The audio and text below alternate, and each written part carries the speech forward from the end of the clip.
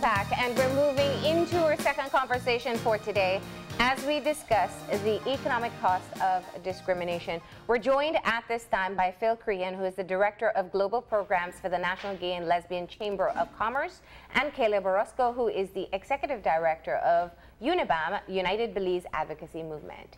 Good morning and welcome. Good morning. Thank you for having us. So, Let's start off by finding out more about your organization uh, before we head into the meat of the matter. Yeah, sure. So, as of November, we became the National LGBT Chamber of Commerce, so that is NGLCC for short. Mm-hmm. And within the United States, we're the voice of the LGBT business community.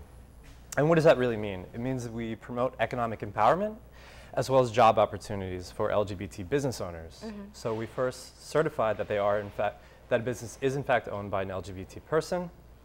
After that, we then work to connect them to business opportunities.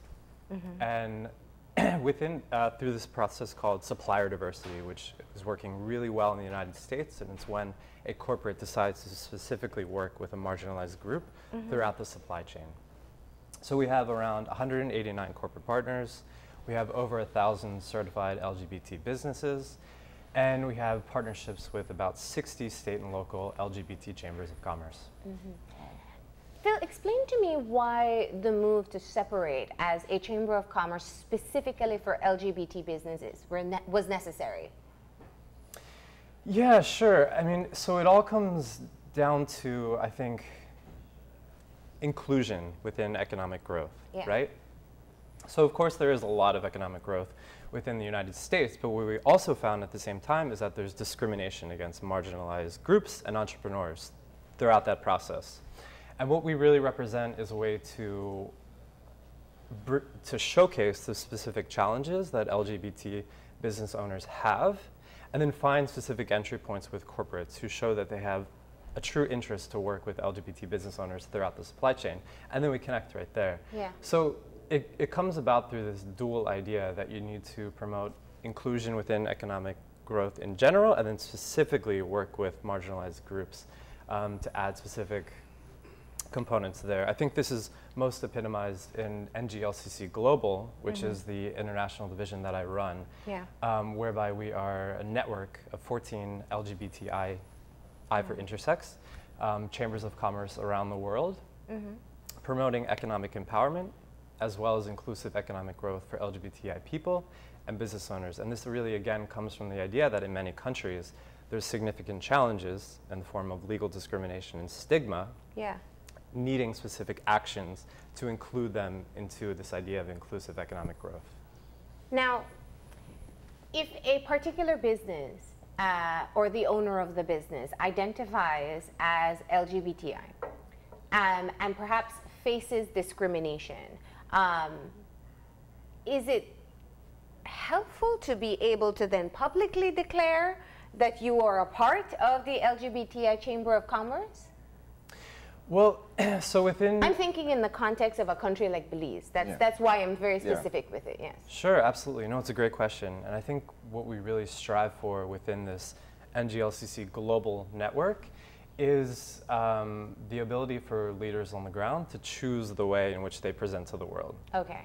So it's not necessarily that when they face discrimination, they say, we're involved in an LGBTI Chamber of yeah. Commerce. They may or they may not. I think that's yeah. kind of the strength of this global network is that it provides the space for leaders mm-hmm. and their mm-hmm. constituents on the ground to come up with their own strategies of engaging.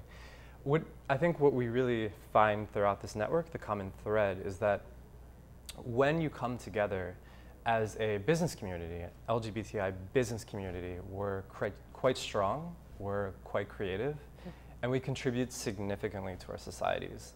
I think this is best captured in the United States because we have data to show it, yeah. but when we estimate um, the number of LGBT owned businesses in the United States, we can see that they contribute well over $1.7 trillion wow.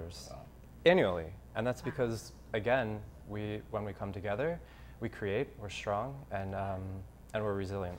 Are, is there a particular legal framework that enables um, this marginalized group to be able to operate differently or um, more com uh, competitively in the business market? Yeah, sure. I mean, again, it's this, when we look globally, it's this two ways of looking at that question. First, there are legal barriers that LGBTI people experience. Um, for example? Well, for example, you know, there's laws that criminalize same-sex acts, right? And I think Belize had that law on the books Move until 2016 when it was when Caleb here. it's no secret. is, is, that? Yeah, we moved past that. We've moved past yeah, that. Yeah, Belize has moved past that. Yeah, and, and it's a great example of how activists on the ground um, have really come together to overturn these laws. So that's mm-hmm. just one example. But, but that's not the business. Well, we first have law. to look. I believe we first have to look at the laws that impact individuals as well as their ability to come together and collectivize, right? So if we look at, you know, I just gave an example of laws impacting LGB people, but also there are laws impacting the inclusion of trans people, which mm-hmm. is maybe for one example, um, a lack of ability to change um, one's gender on their birth certificate, yes. which mm. impacts their ability to travel, register, land, etc. Just runs the gamut. So there are all sorts of laws that impact one's um, experience as an individual. There's also laws that impact um, an organization's ability to collectivize and come together. So that's another unit, that, or another unit of analysis that we have to consider. But when it comes to um, after it comes to finding inclusion into economics, right? There are some policies um, that help that help foster their resilience, their inclusion into the formal economy. And again, I alluded to this earlier. One example is supplier diversity in the United States. Mm-hmm. And that's part policy, but that's also part corporate side. They're saying, we have a specific interest of working with marginalized groups throughout mm-hmm. our supply chain so that we have a really diverse supply chain. And what we see um, when really examining the data is that this is good both for the suppliers as well as for the corporates. They see that supplier diversity lends to better mm-hmm. corporate um, bottom line profits. Mm-hmm. When, when, I, when I saw it, because I went on the website, it's, it's, the organization is out of uh, Washington, D.C. Uh, it was interesting because I thought that business itself, well, in Belize I can speak, that business is more about product and quality as opposed to what feeds into it. So if you don't have a good product, I don't care what um, you are promoting it as, whether or not it, you're promoting it as yeah. green or um, yeah. as being um, indiscriminate. Yeah. If it's not a good product, then that's not it. So what specifically about economic empowerment, as, as apart from support for people who are facing business problems, um, does the organization do in the States, before I reach the Belize? sure, so your question was, what about economic empowerment as yes. my organization? Yes, in terms of business, why, why, why the marriage between um, sexual orientation mm-hmm. and business? Because I thought business was simply, give me a good product. Or market it well. and market it well. sure, sure. I mean, what we find is that LGBT business owners have stellar products, right? But unfortunately, there's this layer of discrimination mm-hmm. often that prohibits them from accessing credit to grow as a business or accessing job opportunities yeah. that otherwise non-LGBT business owners might have. So we find that when all things being equal, LGBT business owners contribute significantly. But I think your question reaches to a larger one, which is why try to promote LGBTI economic empowerment, particularly in the global landscape. And I think this is really important because for, for a long time, when we talk about international LGBTI issues, we talk about human rights yes. of LGBTI yeah. people. And that's great because that this that's will always it's fundamental. It'll, this will always be a question of human rights. Yeah. Um, and will continue to be. But I think this other side, this side of economic empowerment and inclusive economic growth, is really important, mm-hmm. and I mm-hmm. think it adds to that human rights-based discussion. But really, we have to, I think, begin to analyze global research and the experiences of LGBTI people and see that in context of legal discrimination and high stigma, there's a significant impact on socioeconomic status. And what I'd like to say is there's a cycle of poverty that emerges. Mm-hmm. I mean, the World Bank has even looked at global data and see, saw that due to discrimination and stigma, LGBTI people are likely overrepresented among the bottom 40% of society. So there is a socioeconomic empowerment side that we really need to talk about and work with to promote. So let's uh, talk to Caleb now and talk about uh, this particular partnership and, and how it got started. Um, I tripped over myself and a, a bomb showed up eventually. No. um, essentially, we run a human rights observatory, and I was looking for global data in Latin America and the Caribbean. And I sent out an email in, in one of the gl- many global lists I'm in. And to my sh- horror, no, um, to my surprise, Phil sent some data references that I was looking for, and really that inspired the epiphany, if you will. And, and, and when I c- continued looking at the data, I realized that there's an economic component, and why not um, start a conversation, which took him to London, to Guyana, um, with our partners at the Parliamentarians for Global Action, and then I said, well, might as well uh, bring him to Belize to start this discussion. Yeah. So that's one. The second thing is, um, in 2014, the Ministry of Health estimated that uh, for its mode of transmission study that there were between 1,800 and 4,500 men who have sex with men. And so when we looked at that, plus the community data, the assessment reports that was created, you begin to realize the implication. Just as a scenario, the lower end of persons earning um, $720 a month for the entire year at 1800 uh, leads to over $50 million being produced by just that 1800 group of men who have sex with men. But when you move over to the 4500, then when you calculate the income, just basic income on the higher end, um, collectively they produce over $41 million um, in collective individual income. Now that has policy application for customer service, for socioeconomic benefits, things like pension, social security, insurance, and on, on and on. Now, when you look at the women's side, you begin to understand that two-thirds of women don't participate in our labor force. But when I look at Petal assessment report, and I use just one part of it, you begin to see that the, the lesbian women, bisexual and lesbian women, um, alone, using the number 5,000, generated over $60 million collectively. But nobody's collecting that data. The private sector isn't even having a, that discussion as to how do you use that income to increase your profit, create service. Um, how do you imp- not only uh, improve profit, but then bring in employees who understand the population to then have the creative strategy necessary to reach a large market that we haven't even tapped, discussed, or even bothered to understand. So that's really the context. Outside of that, for Belize, we have 43% poverty rate. We need to find new ways of generating employment and productivity. We're inefficient at using our human capital. So it's a conversation that is timely, and I believe, as a rebel also, we can lead. But in the absence of data, where do you start? Yeah. Absolutely. And so we, we're going to have a luncheon uh, between 11.30 and 1.30 at the BCI. It- The luncheon is free, and we're going to have that conversation uh, more in depth about the life cycle, uh, the im- implication and discussion. So we start there.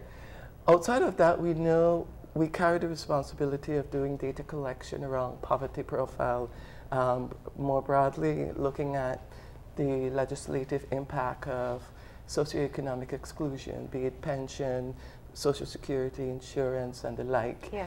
Um, we know that we have to lobby and generate interest between the health system and the economic system. And there's no better time like the present to start a conversation about something that nobody else have considered before. But even in terms of, if, if I were to play devil's advocate and say that this is a bit premature, we, we've just, um, Belize has just matured itself um, past the legislative discrimination um, in the law after a hard fought case.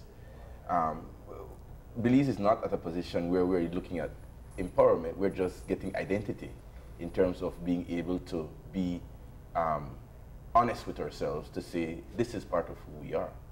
Um, and so this is an added layer because part of what um, your organization does is to register um, LGBTI businesses. Mm-hmm. In Belize, people even saying that I'm LGBTI is huge. Yeah. So is it, there's no time like the present, but is it premature?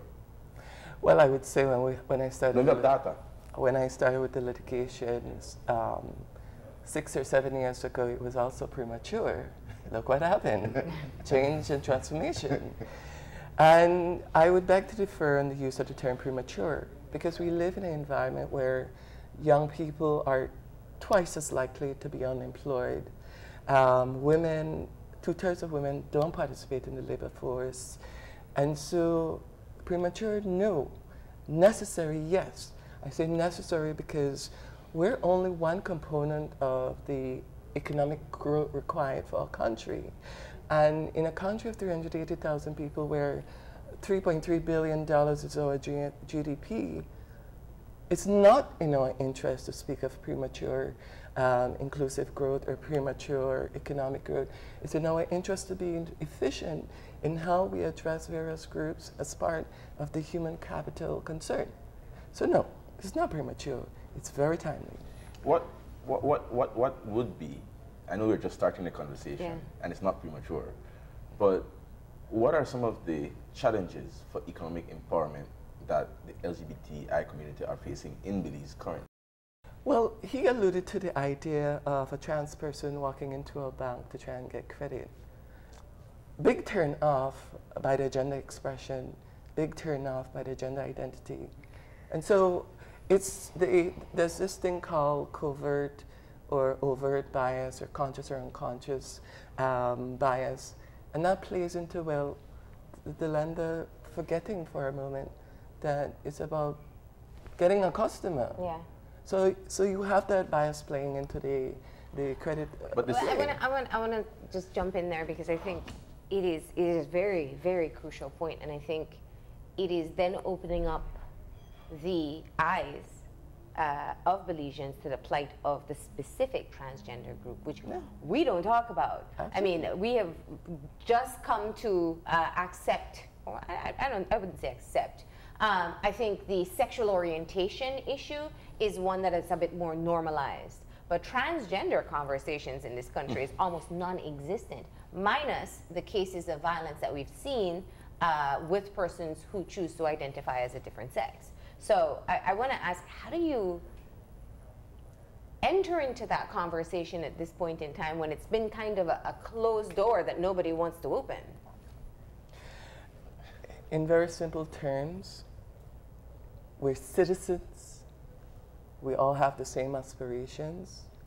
And it's about building a win win relationship between the various parties concerned with one thing benefit. Mm-hmm. I don't think anybody will run through the door, destroy a process when they know there's a benefit to be gained by investing in that person called citizen, that person who makes part of a collective human capital investment required Yeah. that is of interest to all, not some. Now, granted, you will have your minority group who will be loud and resistant and so on, but it doesn't change a fundamental fact. Either you empower an individual to be economically self-reliant and independent of a system which already does not have a strong safety net, or you deal with the consequence of not having that individual being able to contribute to your community. And um, I think uh, another way to answer your question is to really pull from global and regional experiences because there's mm-hmm. so many great examples out there mm. of LGBTI people coming together, combating labor market discrimination, mm. working with corporates on better workplace policies. So many great examples. I think what's been fantastic with this NGLCC global network has been um, working with, again, 14 LGBTI chambers of commerce around the world to pull in these examples and see where they can work elsewhere. Yeah. So, for example, we have many partners throughout Central South America as well as the Caribbean, um, even India. And India is a great example, I think, that speaks to your question of trans inclusion because in India, actually, there's a law which prohibits um, uh, non-procreative sexual acts, and that's used against LGBT people. Mm-hmm. But at the same time, there's a Supreme Court ruling saying we're upholding the rights of trans and third gender people, Mm-hmm. which is fascinating because globally, usually it's LGB, rights for LGBT people, and Yeah. then for trans people, but here it's actually trans people, and hopefully down the line it'll be LGBT people. And I think there's a lot of stories to learn from Hmm. um, when it comes to answering how we can cultivate transclusion. So share with us your experience in moving into a new country, uh, similar to Belize, and, and how you get the conversation started. I'm sure the chamber, who have conversations with many different representatives, didn't think they'd be having a conversation about whether or not you want to identify as a LGBTI business. Tell us how you start. What's your starting point? Oh yeah, always doing your homework. I mean, there's there's just so much great, rich, qualitative data Yeah. out there that Unibam, Petal, other organizations and Belize has already collected, and, Yeah. and we really just need to do our homework. And and Caleb has kindly sent me all of those reports. Yeah. Um, and then it comes down to scoping and seeing, you know, seeing the leaders who are in Belize or in any other country. What are they doing? What is their read on the Mhm. situation? Do they see a pathway of economic empowerment?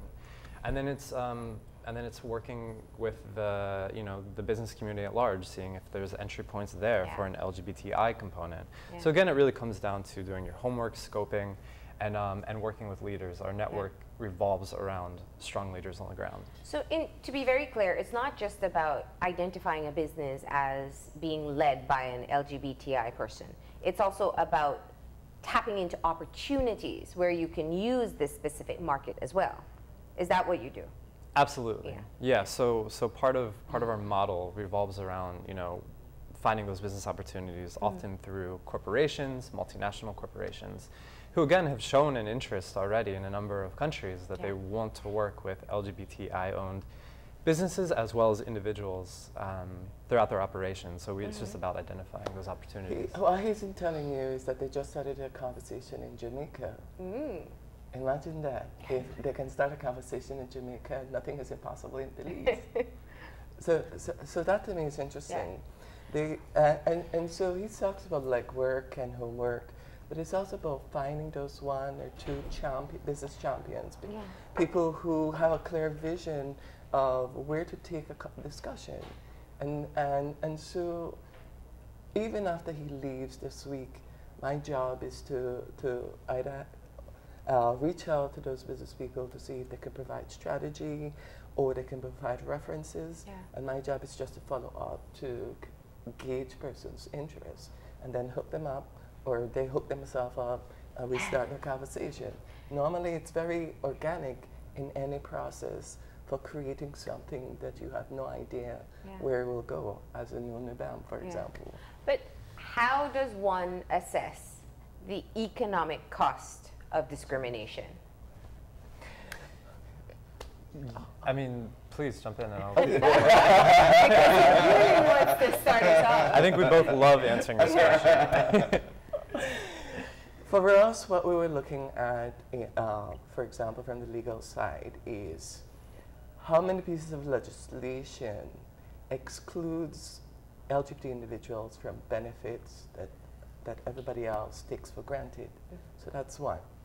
The second part of that is examining the perception of policymakers and persons in position of authority to see how they view our economic contribution. Mhm. And then the third part of that is really examining our community to see if, if they feel economically excluded. Now, one of the things I learned with our work is, is there's a, so- a psychosocial component that is always there. Worry about violence, outing family, uh, or family outing them.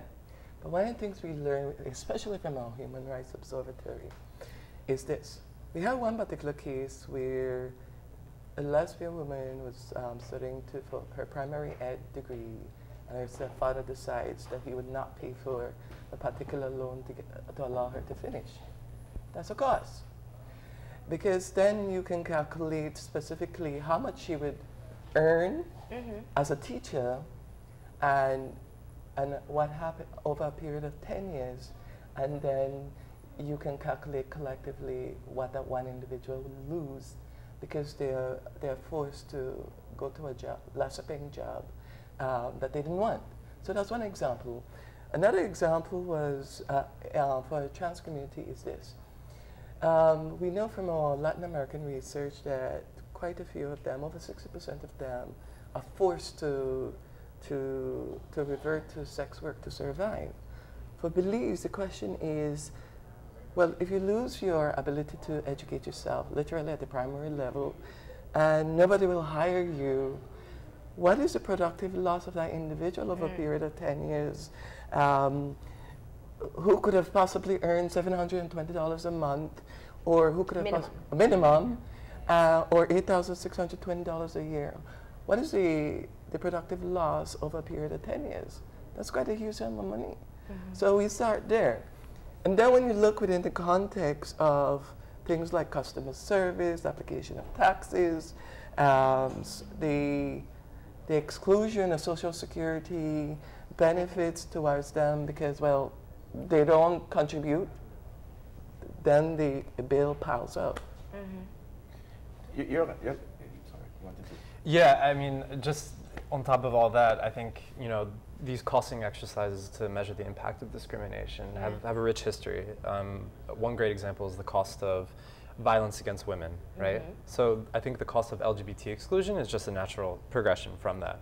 And, and it's something that, you know, that it's work that I've led at the World Bank with Dr. Lee Badgett, and what we did was use India as a case study, and we saw that um, in areas of you know stigma and legal discrimination, yeah there's micro level impacts can, which can be added up and aggregated to yeah. this larger GDP impact. And actually, when you crunch those numbers in India, you can see that up to $30.8 billion is lost due to exclusion in the health, education, and employment sectors. Mm. So that's the one side, that's the cost. And then there's even the flip side, which is the economic benefit of LGBT, LGBTI mm-hmm. inclusion, which is another pathway we hope to advance. Mm. The, the, the angle that your organization comes from is more from the businessman's yeah. um, angle. Um, but the conversation is more in, in this realm about general economic empowerment.